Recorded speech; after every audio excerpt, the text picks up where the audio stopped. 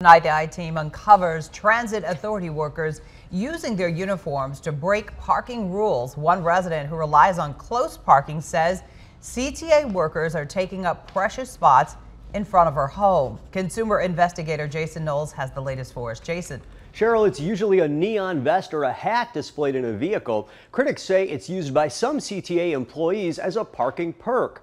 The I-Team first told you about the issue in December. Now a new area in question. I suffer from multiple sclerosis and I also have an autistic daughter and uh, there have been times when I've had to park two blocks away from my home in the winter. Tiffany Alexander Jones says when she sees CTA workers without a residential permit park in front of her home, it makes me feel as though I don't matter. I paid to park here and in addition I have handicap parking, but that hasn't made a difference. Alexander Jones says that disabled parking spot and the other residential permit spots get taken regularly by vehicles without a permit.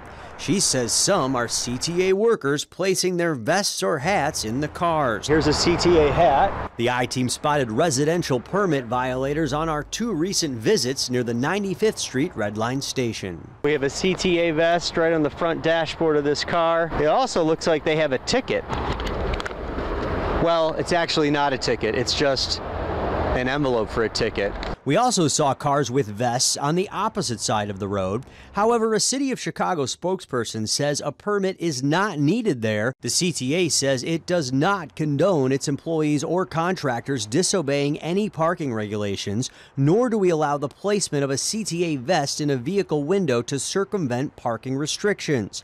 A spokesperson went on to say that the 95th station renovation project is creating parking challenges and that the CTA is now meeting with the contractors to emphasize the importance of following all parking rules and will monitor the parking restrictions to make sure all workers are complying. CTA should build a parking lot if they have this many employees who need parking. The I-Team also found dozens of CTA workers using vests to get free parking in bus lanes in December at the Blue Line Cumberland stop.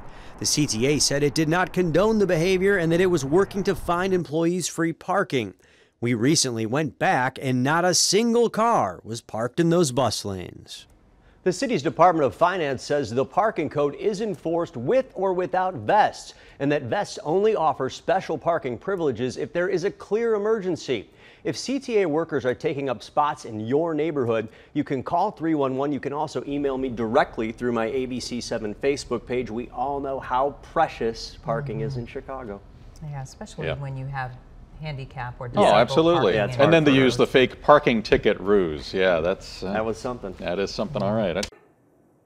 Hey, if you like that video, be sure to subscribe to our ABC7 Chicago YouTube channel.